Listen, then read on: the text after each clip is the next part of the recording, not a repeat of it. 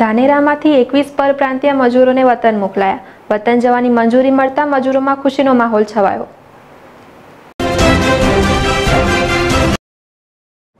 પરપ્રાંતીય મજૂરો કામ અર્થે ધાનેરા વિસ્તારમાં આવ્યા હતા, પરંતુ કોરોના વાયરસને લઈ તમામ મજૂરો અટવાઈ જવા પામ્યા હતા.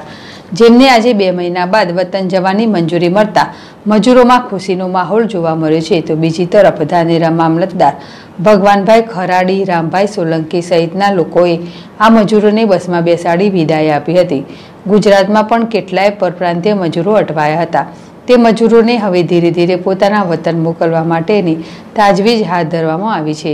ત્યારે આજે ધાનેરામાંથી પણ એકવીસ જેટલા પરપ્રાંતીય મજૂરોને છત્તીસગઢ મોકલવા માર્કેટની વ્યવસ્થા કરવામાં આવી હતી. ગુજરાત સરકારની બસ દ્વારા મહેસાણા મોકલવામાં આવ્યા છે અને મહેસાણાથી છત્તીસગઢ માટે મુકાશે ત્યારે આજે ધાનેરાની બનાસ દૂધ શેત કેન્દ્ર પાસે આ તમામ મજૂરોને બસમાં બેસાડ્યા હતા. પાણીની વ્યવસ્થા પણ કરી આપવામાં આવી હતી અને તમામ મજૂરોને વિદાય આપવામાં આવી હતી.